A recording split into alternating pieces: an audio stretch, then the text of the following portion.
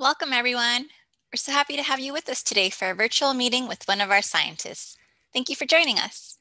My name is Jessica, and I work with the education team at the Natural History Museum. Today, we'll be meeting with a special guest from our Research and Collections Department. The Natural History Museum is home to 35 million objects and specimens. Our scientists use these collections to conduct research on people and nature, past and present. Each scientist has a special area of focus for their research, but together they are helping to build the history of life on our planet. In just a moment, we're going to hear from Lisa Gonzalez, the Assistant Collections Manager of Entomology. Entomology is a study of insects. Step into the itty bitty world of bugs with Lisa. Since 2012, Lisa has helped oversee the museum's collection of more than 6 million insects, spiders, and other terrestrial arthropod specimens from around the world while exploring LA's own rich biodiversity through NHM's BioSCAN project. Join her for some big facts about these tiny inhabitants, like their many surprising uses for slime. I'm going, I'm going to stop sharing my screen so we can meet our presenter today, and you'll see me again in a little bit. Hi, Lisa. Hi, everybody. Thank you. Thank you so much for joining today. I'm really excited to talk about my favorite group of animals on the planet. We have just a short period of time, so I'm going to go ahead and just launch into the presentation to make sure we have some time at the end for questions. So let's go ahead and do the share screen.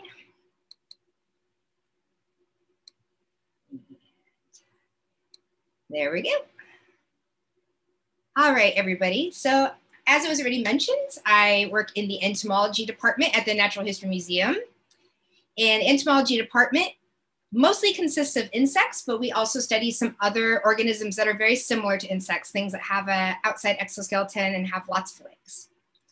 So if I'm gonna start my story, my path as an entomologist, as somebody who studies insects, I have to start with the humble roly-poly. I have to give credit where credit is due. So this animal is actually not an insect.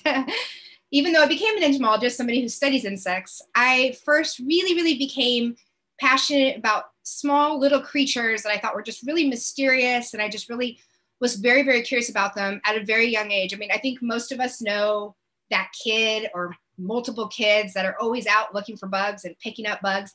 I was that kid from a very young age. So the roly-polies are actually a type of crustacean that are terrestrial that live on land. Um, they are distant relatives of animals like insects. But roly-polies, you know, they're very benign. They're they're they're not dangerous in any way, which is actually true of, of most insects and relatives of insects. And so I would pick them up. I would observe them. This was, you know, by, by the time I was about four years old, I was really fascinated by them, and I really I give them credit for being the bug that really got me interested in animals that are related to insects. I have to, oh, so yes, so as I was saying, I'm the kind of person that just picks up bugs all the time. I wish I had some photos of me when I was really young, but you know, at that time, this was, I was born in the 70s, so my mom wasn't taking pictures of me all the time. But I just, my entire life, have always loved picking up and handling insects and just being really fascinated by them. And one of my goals with showing people images of me actually handling insects and relatives like spiders is to help people to overcome their fears and to teach people that a lot of them are really they're more scared of us than you know than we should be of them. They're they're very small animals and they have ways of communicating. And even though they do have ways of defending themselves most of them are essentially harmless. So I have some pictures here. The picture in the upper right was actually when I first started volunteering at the Natural History Museum when I was 20 years old. So that picture is 24 years old. And that's me with a stag beetle. I'm look really excited to be working with this stag beetle. That was my first time ever seeing one. I'd only seen pictures of them before. Um, so I started off as a volunteer in the insect zoo, helping to take care of some of the insects. And then later on, I also worked in our spider pavilion, which is actually up right now. So that lower picture there, that's me with a giant Nephila orb weaving spider as I was getting ready to help feed them. I also definitely need to mention some members of my family that were really supportive of me when I showed an interest in insects and spiders at a very young age. I think that there are a lot of kids that show an interest and maybe it's not taken seriously or it's seen as something that's just kind of a funny habit. Or maybe other people might say, ah, oh, that's kind of weird, they're icky, and, and they dismiss it. They don't take it seriously. But the study of insects is a serious science. It's a very important science. And I'm very lucky that I had my grandmother and my mother and my sister who all encouraged me they never, you know, stood up on a chair and screamed when they saw me handling insects. Of course, they would make sure that I looked things up and we knew that I was being safe. Um, but they just were very encouraging. My grandma had a garden. We would look for bugs. Um, the reason I included the picture on the right is because that little stroller that I have a, a, doll in, I actually used to put bugs in it and tell people they were my babies. So just, you know, ever since I was really little, this is something I really liked. I was very passionate about. And then I was also very lucky to be introduced to women who were biologists and who were doing this for a living. So it helped me to understand that this was something I could grow up and study. Uh, maybe some of you have heard of this woman. Her name is Jane Goodall, and she's a very important primatologist. She studies chimpanzees. She still studies now. She's 85, I would believe. She's in her, her mid to late 80s, and she's still doing this. She's still studying chimpanzees you know, when I was a kid, we didn't have YouTube, we didn't have Coyote Peterson, I didn't even have the Discovery Channel. That's how long ago I was born. But we did have National Geographic and I did have Jane Goodall. So I read books. That's actually my first copy of her book on the right there that I read backwards and forwards. And I was so inspired. And I just thought, you know, I, I want to grow up and I want to go to the jungle and I want to study animals. You know, it wasn't into chimpanzees, but I knew I just really I wanted to go to a faraway place and I wanted to find new species and I wanted to learn new behaviors. And that was just, I, I was going to do whatever it took to do that. So, fast forward from my childhood to my early 20s again. And this was actually my first trip to the jungle. And you could see in the picture on the left, I'm holding like a, uh, looks like a rubber tube. And that's actually a tool that we use called an aspirator. This is a common tool that entomologists use to collect really tiny insects because most of the insects that I study are very small, they're microscopic. And we're gonna look at a few of those in a bit. Um, and so while I was on this trip, this was right before I started college when I was still, you know, am I gonna be an entomologist or am I gonna do something else? And this trip that I was very fortunate to go on, where I learned a lot of skills and I learned a lot about how to actually work in the field, sealed the deal. This was it. I for sure, you know, sign me up. I want to go to school to study insects and and that was it. That's what sealed the deal. So this was my first trip to the jungle. There's a picture of me on the right holding a millipede by the way. So that's another type of arthropod. That's a relative of an insect that has an outside skeleton has lots of segmented legs. And here's another very very important tool that i was using and that i still use today. So on the left that's me in the jungle using a trap that's called a malaise trap which is a, a tent that's light on top darker on the bottom, and then it comes to a point. So it's taller on one side. And you can see it a little bit in the photo on the right. Um, there's a plastic bottle up there that collects the insects into a sample. So the insects fly in and then they, they want to go away from gravity. This is something that is an instinct for insects that fly. And it enables, enables us to collect samples. So the picture on the left showing me in the jungle and finding lots of new species. And I, at the time, assumed that that's the only way you can make discoveries, but I was actually wrong. You can make discoveries in big cities like Los Angeles. So nowadays, my main field site is actually working in yards and community gardens and community green spaces. And I set up these malaise traps just like I did in the jungle 20 years ago and we find new species living in Los Angeles. There are new species to be found in backyards, in cities, and across the US. You don't have to go far away to make discoveries of new species, which I think is amazing. So here's a picture of me doing one of the things I love the most. I love field work very much, but then the other half of that is bringing the sample back to the lab and using my beloved microscope. If it looks like I'm hugging the microscope in that picture, that's because I probably am. uh, just this is a tool that's absolutely necessary for people who study very small organisms. And you take a sample and you pour it out, and then you can see what some of these insects look like on the left-hand side. Those are all macro photographs. Some of them I've taken, some of them another woman took. Um, so most of the images you're gonna see today are, are macro photographs that I've taken. And these, are again, these are all insects that were found in yards in Los Angeles. Some of them look like, you know, you would have to go to a jungle to find. They're so shiny, they're so gorgeous, but we have lots of incredible insect diversity right here. And here's a picture of the space that I work in, the entomology research department. You can think of it like a library. We do have books, of course. We use books. We use different research materials. And of course, scientific journals are really important as well. But the room is a library that's mostly full of drawers that are full of insects and their relatives. So uh, the picture on the right is a, a tour uh, before the you know pandemic hit. We would let people come in and we would give tours, and now we mostly are doing virtual tours. Um, and you can see that's one aisle, and you could see all the drawers just in that one aisle. And each drawer has you know could be anywhere from a few hundred to even a thousand insects, depending on how small they are and how many how many you can fit in a drawer. And there are 25 aisles in that room. So many, many insects. We say about 6 million, but actually the number is probably even higher than that by now because every sample that we take has hundreds to thousands of insects in it. And here's a, just an example of one of the drawers. There's so many drawers, um, but this is a drawer that we would take out for, for outreach if we were gonna talk to people.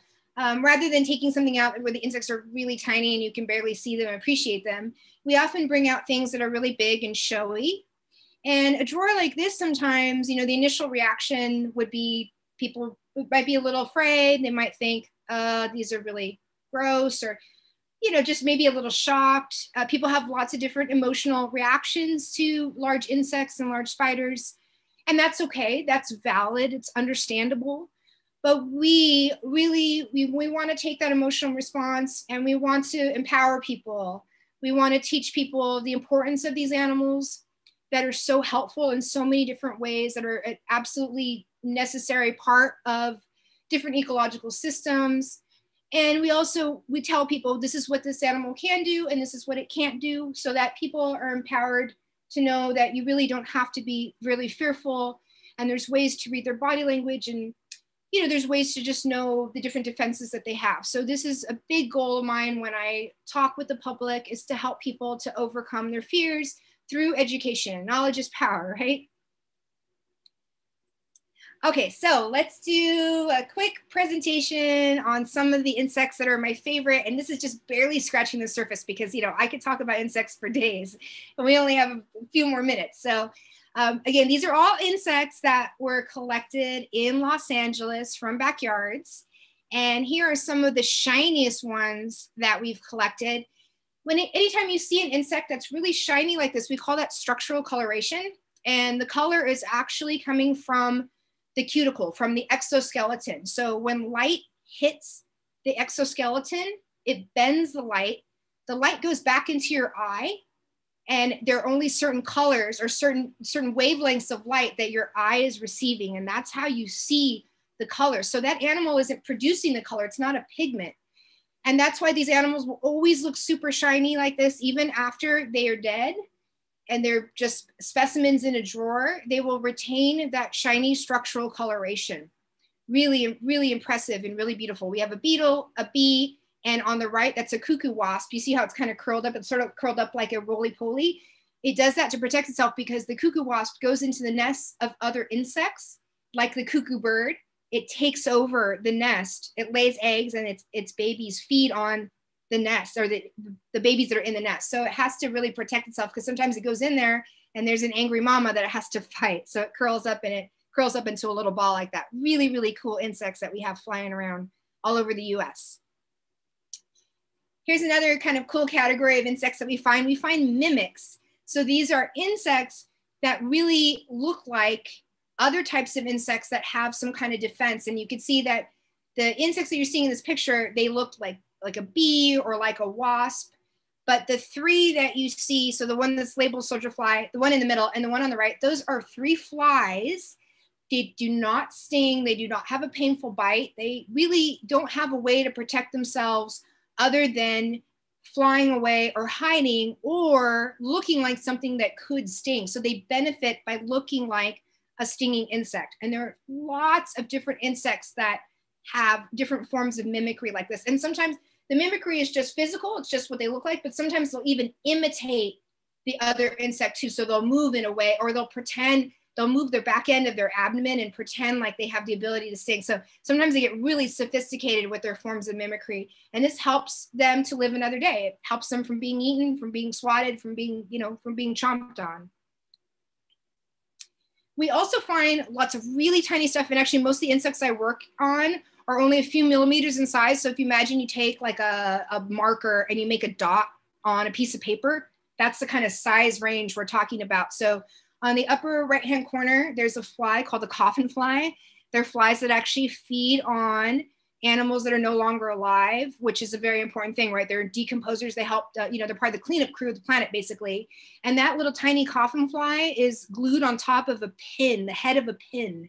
So just to give you a sense of how small it is, um, the little beetle to the left the featherwing beetle is even smaller than that. It's it's so small that it can't fly through the air because the air is thick, like you're swimming through an ocean. The insect is so small that the air is super thick, and so rather than being able to fly, it has to paddle through the air which is why its wings have evolved to look like oars instead of what we think of as classic wings. So this, these are how tiny these insects are. Um, the weird drawing and picture on the bottom, you're probably wondering about that, Arnold Schwarzenegger picture. So my, my, my boss and mentor, Dr. Brown, discovered the world's smallest fly in the world. He discovered this in Brazil. And this fly is, is 0.3 millimeters in size, incredibly tiny but when you look at it under a microscope, it looks like it has big, beefy muscles. So he thought it would be really funny to name it after Arnold Schwarzenegger. So it's the name is actually Megapropodiphora Arnold. That's a mouthful, right? so that is the smallest fly in the world. Our entomology lab has the uh, great fame of being, I don't know how famous we are, but we, we get to boast that we found the smallest fly in the world. All right, so what about slimy insects? We were gonna talk about slime today, of course. And this is kind of a, a little bit of a tricky question to answer because usually when you think of slimy animals, you think of things like this banana slug that I came across when I was I was doing a hike in Big Sur earlier this year. Came across a banana slug that happened to match my nails. It was just uh, what a lucky day for me. Really incredible animals, super super slimy on the outside. But if you notice, the difference between something like a slug and an animal like an insect is that they don't have a hard exoskeleton. So insects, you know, they don't really have their slime on the outside of their body, but they do have mucus on the inside, like almost all animals, if not all animals in the world do. And they also have other types of secretions that they can use for a variety of purposes. So this is how we're going to be able to talk about some slimy insects today. So think think more about things that are going on on the inside of their body that they can release on the outside in some really crazy ways. So our first couple examples are um, things that can just kind of spit up the slime. Like on the left, we have a katydid, which is a relative of a grasshopper. Both katydids and grasshoppers do this. They basically will regurgitate or, you know, barf basically some toxins that they keep inside of their body. And when they do that, when they when they get disturbed, like maybe you know a lizard's taking a nibble on them or a person picks them up, when they barf that up, that is actually really, really distasteful and it can get coated on their body. So it essentially makes them mildly toxic. Um, depending on the species, some of them are pretty toxic and others, it's just gonna make them taste really bad. So the hope is that the frog or the bird or whatever potential predator is disturbing it is gonna say, uh, never mind, you taste awful. You have toxins inside of your body. If I eat you, I might get sick or worse, I might die. So this is one really kind of simple way that insects use slimy, ooey, gooey ooze to protect themselves. On the right hand corner, the bottom picture there, you've got a ladybug that's actually bleeding ooze out of pores in its exoskeleton. And then it gets like a little bit more sophisticated, right? So rather than spitting it up, it's actually oozing it out of the pores in its body. Here we have a spittlebug, which is actually peeing out, believe it or not, it's excreting this bubbly ooze. And this, this they can use to hide inside of so that other predators or potential parasites can't even see it. And spittlebugs are everywhere. So if you're ever walking around and you see bushes and it looks like someone hocked a loogie up on the bush, that is probably a little tiny spittlebug that's hiding out in there and just kind of peeing out this frothy, slimy mess all day. Really cool. This one's one of my favorites. But my absolute favorite example of slime that any insect uses is the Malaysian exploding ant. The first time I read about these, I was so excited. I would love to see one in the wild at some point, life goal there. So this ant, when it gets upset, it actually has two glands inside of its head. It squeezes its muscles really, really hard in its body and the glands in its head push the fluid out to the back to the abdomen the back end of the body and it actually causes the ant to rupture and the goo that comes out is actually really uh, it stings and it burns the animal that it's fighting with so you can see these two ants are having a battle here the exploding ant explodes the ant dies in the process but it's saving the queen and the colony so it's all you know this good cause that the ant is giving its life for. So exploding ants from Malaysia, that's my favorite example of an insect using slime to protect itself. So if you'd like to learn anything, if you'd like to learn more about the insects that I work on and our entomology team works on, we have an online exhibit that's called Spiky Haired and Shiny. So you can go to the NHM website and you can see more macrophotography and you can also learn about the BioSCAN project where we study insects living in Los Angeles. And with that, uh, we can answer some questions. Thank you. Thank you. Thank you, Lisa. Um, love hearing your story and seeing those really cool tiny pictures. Thank so you. we have a couple of questions from students. I'm going to start with Henry. Henry is wondering, what is the most unique insect you've caught and what makes it so unique? Okay, great question. So I can't pick just one, so I'm going to talk about a category if that's okay. Uh, so I work mainly on a group of flies called phorid flies that are little tiny flies that some of them are parasites on other insects. And it's not quite a parasite, it's like a parasite and a predator because they actually wind up consuming their host rather than keeping their host alive like a true parasite would. And in some cases, the flies lay eggs inside of ants. The little maggot, the little baby fly hatches, starts to eat some of the muscle and things that are not essential because it wants to keep its host alive for a little bit then the mag maggot migrates to the head capsule of the ant and releases an enzyme that causes the head capsule to pop off. So we call them ant decapitating flies. And then from there, it can go through metamorphosis and it's inside of, it's like a little like space shuttle. It's inside the head capsule of the ant. And the body of the ant will still run around for a little bit. It'll, it'll remain alive for like a day or so. So I've actually seen some of these in action. I've seen ants running around with that head and we knew that ant decapitating flies were nearby I mean, really doesn't get more exciting than that for someone who studies weird bugs. Thank you. That's so crazy. Bugs. Um, okay, we have one student who is wondering what is the newest bug that you have found? Mm, okay, so just recently, oh, this is actually perfect because we talked about spittle bugs. Um, just about a month ago in our samples, we found uh, an adult spittlebug, which is called a frog hopper. We give it a different name. And I saw this frog hopper and I'd never seen it in our samples before. So we believe it's a new species. We're still, we're talking to other specialists to try to figure that out. It takes a lot of, you know, talking to other entomologists and, and doing a, a literature search, reading scientific journals. But uh, this frog hopper is really beautiful. We, we know for sure it's not originally from here. It probably came here from the tropics, but we don't know how. Um, you know, probably in a shipment on a plant, something like that. So that's the, the newest species that we found, which is just about a month ago. Very cool. Thank you. Um, so let's see. Candace is wondering if there are any insects that you're scared of.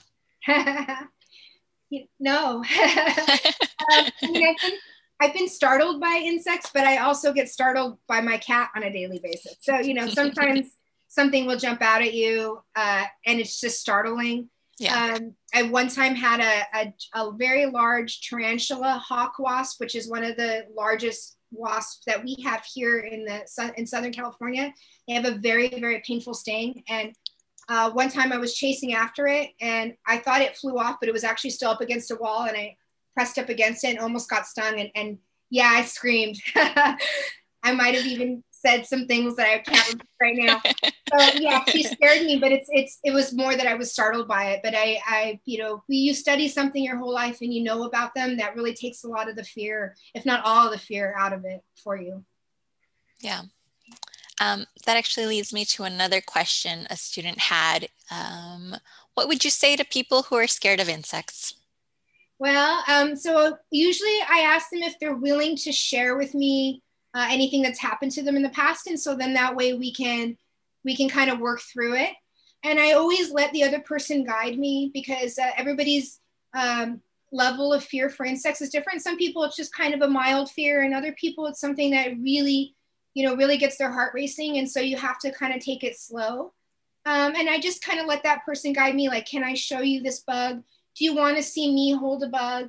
Um, and then eventually might even work our way up to, you know, do you want to touch this bug? And and I just try to, um, you know, equip people, empower people with knowledge about that group of insects. Like this is what they can do. These are the, the handful of ones in this area that you really can't touch, and then you know let them know all the other ones are okay. Um, you know, basically just talk people through it. But it's a process. Yeah, definitely. Your presentations in the museum have certainly helped me. oh, that's so good to hear. um, let's see. Aiden is wondering, what is your all-time favorite insect? Uh, yeah, that's it's so hard for me to answer because there are over a million insects at least, at least in the world. Um, and you know, I they're all interesting to me. I mean, maybe there are a few that are quite as exciting, like aphids aren't quite as exciting as you know a big stag beetle. Um, but I'm really interested in insects that have really weird life cycles um, really complex life cycles that are still sort of like a mystery of evolution. Like, how did that come about? Um, so, just to name one quick one, um, the botfly that attaches its egg to a mosquito, and then the mosquito feeds on something and the egg hatches. You know, things like that, where it's just this complicated life cycle. Those are the ones that get me the most excited because it it seems like something out of science fiction, but it's not. It's not fiction. It's it's science. It's real. so complicated. um, okay, thank you. Um, William has a question about, I believe it's about the malaise traps. So mm-hmm. he's asking, they're asking, why do their insects tell them, or their instincts, sorry, tell them to go inside the cup on top of the tent shaped structure? That's a great question. Okay, so there are lots of different kind of insects that have different instincts that have helped them survive over time. And so for some insects, when they reach a, a boundary, an impasse, they'll go down and they'll burrow. And that's how they escape. But others, maybe they've been flying around for forests for a really long time. They reach a barrier and they can go up and over and escape. Maybe they're escaping predators that are lower on the ground, right? And they can fly higher. So that's why this instinct has evolved for them to go up and towards the light. They're actually going towards the light that's guiding them up. So putting the cup there where the light is hitting, it that's human beings being super tricky and tricking them into going into that cup. So it's not the cup that's attracting them, it's just them going up to the top towards the light and then eventually falling in sounds maybe a little cruel, but we only do it so that we can study the insects. We don't, we take it very seriously. We're not killing insects just for the heck of it. We're, we're, we're collecting them so that we can study them. Cool, thank you. Um, okay, we've got time for one more question. Um, where was it? What species, Caitlin is wondering, what species of insects can live the longest? Oh, okay. Um, so there's a queen ant that is kept in captivity that was on record for being one of the longest insects. And I believe she lived for 20, I want to say 24, 25 years. I might be off by a year. Um, so that is the last time I checked, anyway, the longest living insect. Um, the other really famous one would be the 17 year cicadas. So cicadas wow. are insects that are uh, somewhat related to the spittlebugs. They have a little, you know, piercing mouth part. They spend most of their life underground. So for 17 years they're underground and then they all emerge. They mate they, they emerge they they molt into adulthood they mate and then that's it you know? So that's a really really long lifespan for an insect because most insects it's only going to be a year and for some insects it's even much shorter than that. It's just a few weeks from egg to adult so. Wow, really 17 is. that's crazy. Yeah, yeah. awesome well, thank you so much, Lisa. We're about out of time. We really appreciate you taking the time and answering all these questions. Um, thank you again for your time. My pleasure. So I'm going to go ahead and close this out for our program this afternoon. Thank you to all of our students and teachers for joining us today. We had so much fun learning about entomology, the study of insects, and all of the different insects Lisa studies at the museum. We also got to learn about some of the ways insects use slime as a defense mechanism. We'll have all these videos from the presentation on our YouTube channel for you to watch later. You can catch this recording and others at our youtube.com slash NHMLA channel. Uh, thank you for joining us. We hope to see you again soon.